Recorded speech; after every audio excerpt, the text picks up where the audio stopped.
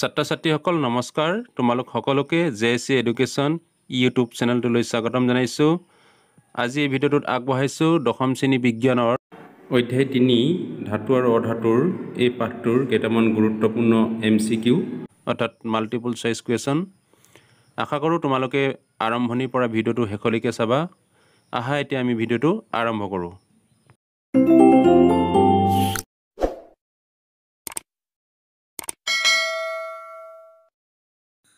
Question number one তলৰ কোনবোৰ ক্ষেত্ৰত প্ৰতিস্থাপন বিক্ৰিয়া ঘটিব? এ ছ'ডিয়াম ক্লৰাইডৰ দ্ৰৱ আৰু কপাৰ ধাতু। অপশ্যন বি মেগনেছিয়াম ক্লৰাইডৰ দ্ৰৱ আৰু এলুমিনিয়াম ধাতু। অপশ্যন চি আইৰণ ছালফেটৰ দ্ৰৱ আৰু চিলভাৰ ধাতু। অপশ্যন ডি চিলভাৰ নাইট্ৰেটৰ দ্ৰৱ আৰু কপাৰ ধাতু। ইয়াৰ শুদ্ধ উত্তৰ হ'ব অপশ্যন ডি চিলভাৰ নাইট্ৰেটৰ দ্ৰৱ আৰু কপাৰ ধাতু। এই বিক্ৰিয়াটোত কপাৰে চিলভাৰ নাইট্ৰেটৰ পৰা চিলভাৰ মৌলটোক অপসাৰিত কৰিব কাৰণ কপাৰ চিলভাৰতকৈ অধিক সক্ৰিয় ধাতু। অৰ্থাৎ এই বিক্ৰিয়াটো এটা প্ৰতিস্থাপন বিক্ৰিয়া। কুৱেশ্যন নম্বৰ টু লো টাৱাৰ এখন মামৰে ধৰাৰ পৰা বচাই ৰাখিবলৈ তলৰ কোনটো পদ্ধতি উপযুক্ত হ'ব? অপশ্যন এ গ্ৰীজ ব্যৱহাৰ কৰি। অপশ্যন বি ৰং ব্যৱহাৰ কৰি। অপশ্যন চি জিংকৰ প্ৰলেপ দি। আৰু অপশ্যন ডি ওপৰৰ সকলো। ইয়াৰ শুদ্ধ উত্তৰ অপশ্যন চি জিংকৰ প্ৰলেপ দি কুৱেশ্যন নম্বৰ থ্ৰী এটা মৌলই অক্সিজেনৰ লগত বিক্ৰিয়া কৰি উচ্চ গলনাংক যৌগ উৎপন্ন কৰে। যৌগটো পানীত দ্ৰৱণীয়। সম্ভৱপৰ মৌলটো A calcium B carbon C silicon D iron. ইয়াৰ শুদ্ধ উত্তৰ হ'ব অপশ্যন এ কেলছিয়াম। কেলছিয়ামে অক্সিজেনৰ লগত বিক্ৰিয়া কৰি কেলছিয়াম অক্সাইড গঠন কৰিব আৰু ই এটা আইনীয় যৌগ যিহেতু আইনীয় যৌগবোৰৰ গলনাংক অতি উচ্চ গতিকে শুদ্ধ উত্তৰ হ'ব option A. Next question number four খাদ্যবস্তু ভৰাই ৰখা পাত্ৰবোৰত টিনৰ প্ৰলেপ দিয়া হয় জিংকৰ নহয়। কিয়নো এ টিনতকৈ জিংক দামী। অপশ্যন বি জিংকৰ গলনাংক টিনতকৈ বেছি। অপশ্যন চি জিংক টিনতকৈ অধিক সক্ৰিয়। ডি জিংক টিনতকৈ কম সক্ৰিয়। ইয়াৰ শুদ্ধ উত্তৰ অপশ্যন চি জিংক টিনতকৈ অধিক সক্ৰিয়। কুৱেশ্যন নম্বৰ ফাইভ বিশুদ্ধ ধাতুৰ পৃষ্ঠ চিকমিকিয়া ইয়াক ধাতুৰ বোলা হয়। এ নমনীয়তা বি ঘাত সহনীয়তা চি ধাতৱ দ্ৰুতি আৰু অপশ্যন ডি নিনাদিগুণ ইয়াৰ শুদ্ধ উত্তৰ অপশ্যন চি ধাতৱ দ্ৰুতি। কুৱেশ্যন নম্বৰ ছিক্স কিছুমান ধাতুক হাতুৰিয়ে মৰিয়াই পাতল পাত এচটা বনাব পাৰি। ধাতুৰ এই ধৰ্মক বোলা হয় এ নমনীয়তা বি ঘাত সহনীয়তা চি ধাতৱ দ্ৰুতি আৰু অপশ্যন ডি নিনাদিগুণ। ইয়াৰ শুদ্ধ উত্তৰ হ'ব অপশ্যন বি ঘাত সহনীয়তা কুৱেশ্যন নম্বৰ ছেভেন তলৰ কোন দুটা ধাতুৰ ঘাত সহনীয়তা গুণ আটাইতকৈ বেছি? অপশ্যন এ ৰূপ আৰু তাম অপশ্যন বি সোণ আৰু ৰূপ অপশ্যন চি তাম আৰু সোণ অপশ্যন ডি সোণ আৰু এলুমিনিয়াম। ইয়াৰ শুদ্ধ উত্তৰ অপশ্যন বি সোণ আৰু ৰূপ। কুৱেশ্যন নম্বৰ এইট ধাতুৰ পাত দীঘল কৰি তাঁৰলৈ পৰিৱৰ্তন কৰিব পৰা গুণক ধাতুৰ বোলে এ নমনীয়তা বি পৰিবাহিতা চি ঘাত সহনীয়তা আৰু অপশ্যন ডি ধাতৱ দ্ৰুতি। ইয়াৰ শুদ্ধ উত্তৰ অপশ্যন এ নমনীয়তা। নেক্সট কুৱেশ্যন নম্বৰ নাইন তলৰ কোনটো ধাতুৰ নমনীয়তা গুণ আটাইতকৈ বেছি?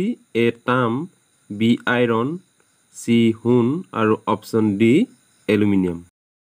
ইয়াৰ শুদ্ধ উত্তৰ অপশ্যন চি সোণ অৰ্থাৎ সোণ ধাতুৰ নমনীয়তা গুণ আটাইতকৈ বেছি। কুৱেশ্যন নম্বৰ টেন তাপৰ আটাইতকৈ সুপৰিবাহী ধাতু দুটা হ'ল এ সি আৰু পাৰা অপশ্যন বি ৰূপ আৰু তাম অপশ্যন চি সি আৰু ৰূপ অপশ্যন ডি পাৰা আৰু তাম। ইয়াৰে শুদ্ধ উত্তৰ অপশ্যন বি ৰূপ আৰু তাম। আনহাতে সীহ আৰু পাৰা তুলনামূলকভাৱে কম পৰিবাহী ধাতু। কুৱেশ্যন নম্বৰ ইলেভেন টান বা কঠিন পৃষ্ঠৰ লগত ধাতুৰ খুন্দা লাগিলে শব্দ উৎপন্ন কৰে। ইয়াক ধাতুৰ বোলে এ নমনীয়তা বি ঘাত সহনীয়তা চি নিনাদী গুণ আৰু অপশ্যন ডি ধাতৱ দ্ৰুতি। ইয়াৰে শুদ্ধ উত্তৰ অপশ্যন চি নিনাদী গুণ। কুৱেশ্যন নম্বৰ টুৱেলভ সাধাৰণ উষ্ণতাত জুলীয়া ধাতুটো হ'ল এ ছডিয়াম বি পাৰা চি হি আৰু অপশ্যন ডি গেলিয়াম। ইয়াৰ শুদ্ধ উত্তৰ অপশ্যন বি পাৰা। সাধাৰণতে ধাতুবিলাক কঠিন বা গোটা কিন্তু পাৰা হ'ল একমাত্ৰ জুলীয়া ধাতু গতিকে ইয়াৰ শুদ্ধ উত্তৰ হ'ব অপশ্যন বি পাৰা। কুৱেশ্যন নম্বৰ থাৰ্টিন সাধাৰণ উষ্ণতাত জুলীয়া অৰ্ধাতুটো হ'ল A chlorine B carbon C bromine D sulphur ইয়াৰে শুদ্ধ উত্তৰ অপশ্যন চি ব্ৰমিন সাধাৰণতে অৰ্ধাতুবিলাক গেছীয় নাইবা কঠিন অৱস্থাত থাকে কিন্তু একমাত্ৰ জুলীয়া অৰ্ধাতুটো হ'ল ব্ৰমিন গতিকে শুদ্ধ উত্তৰ option C. Question number fourteen ধাতৱ দ্ৰুতি সম্পন্ন অৰ্ধাতুটো হ'ল A carbon B iodine C oxygen D sulphur ইয়াৰে শুদ্ধ উত্তৰ অপশ্যন বি আয়ডিন। অৰ্থাৎ আয়ডিন অৰ্ধাতুটোৰ চিকমিকনি আছে। অৰ্থাৎ ই ধাতৱ সম্পন্ন এটা অৰ্ধাতু। কুৱেশ্যন নম্বৰ ফিফটিন প্ৰকৃতিৰ আটাইতকৈ টান পদাৰ্থটো হৈছে A iron B graphite C Hira D তাম। ইয়াৰ শুদ্ধ উত্তৰ হ'ব হীৰা প্ৰকৃতিৰ আটাইতকৈ টান পদাৰ্থ। এইবাৰ আহিছোঁ কুৱেশ্যন নম্বৰ ছিক্সটিনলৈ তলৰ কোনটো ধাতু কটাৰীয়ে সহজে কাটিব পাৰি? এ হি বি চিলভাৰ চি ছডিয়াম আৰু অপশ্যন ডি এলুমিনিয়াম ইয়াৰ শুদ্ধ উত্তৰ অপশ্যন চি ছডিয়াম সাধাৰণতে ধাতুবিলাক টান বা কঠিন কিন্তু ছডিয়াম অতি কোমল ধাতু সেয়েহে ইয়াক কটাৰীয়ে সহজে কাটিব পাৰি। ছডিয়ামৰ দৰে লিথিয়াম পটাছিয়াম ইত্যাদি ধাতু অতি কোমল। গতিকে ইহঁতকো ছডিয়ামৰ দৰে সহজে কটাৰীয়ে কাটিব পাৰি। গতিকে ষোল্ল নম্বৰ প্ৰশ্নৰ শুদ্ধ উত্তৰ option C sodium question number seventeen হীৰা আৰু গ্ৰেফাইট তলৰ কোনটো অৰ্ধাতুৰ বহুৰূপ?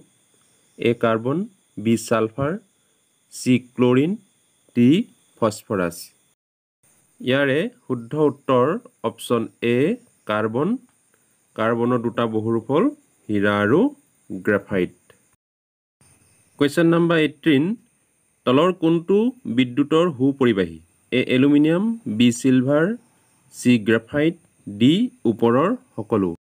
ইয়াৰে শুদ্ধ উত্তৰ অপশ্যন ডি ওপৰৰ সকলো। অৰ্থাৎ এলুমিনিয়াম চিলভাৰ আৰু গ্ৰেফাইট এই তিনিওটাৰ মাজেৰে বিদ্যুৎ পৰিবহণ হয়। গ্ৰেফাইট অৰ্ধাতু কাৰ্বনৰ এটা বহুৰূপ যদিও গ্ৰেফাইটৰ মাজেৰেও বিদ্যুৎ পৰিবহণ হয়। গতিকে অপশ্যন ডি ইয়াৰ শুদ্ধ উত্তৰ। কুৱেশ্যন নম্বৰ নাইনটিন তলৰ কোনটোৱে ৰঙা লিটমাছ কাগজ নীলা কৰে? A sulphur dioxide B hydrochloric acid C magnesium oxide D ওপৰৰ এটাও নহয়। ইয়াৰ শুদ্ধ উত্তৰ অপশ্যন চি মেগনেছিয়াম অক্সাইড। কাৰণ মেগনেছিয়াম অক্সাইডৰ প্ৰকৃতি ক্ষাৰকীয়। ই এবিধ ধাতৱ অক্সাইড যিহেতু ধাতৱ অক্সাইডবিলাকে ৰঙা লিটমাছ কাগজ নীলা কৰে। গতিকে অপশ্যন চি শুদ্ধ উত্তৰ। এইবাৰ আহিছোঁ একেবাৰে শেষৰ প্ৰশ্নটোলৈ কুৱেশ্যন নম্বৰ টুৱেণ্টি অৰ্ধাতৱ অক্সাইডবোৰৰ প্ৰকৃতি এ ক্ষাৰকীয় বি প্ৰসম চি আমলিক আৰু অপশ্যন ডি ওপৰৰ এটাও নহয়। ইয়াৰ শুদ্ধ উত্তৰ অপশ্যন চি আমলিক। অৰ্থাৎ অধাতৱ অক্সাইডবোৰৰ প্ৰকৃতি আমলিক। অধাতৱ অক্সাইডবিলাকে নীলা লিটমাছ কাগজ ৰঙা কৰে।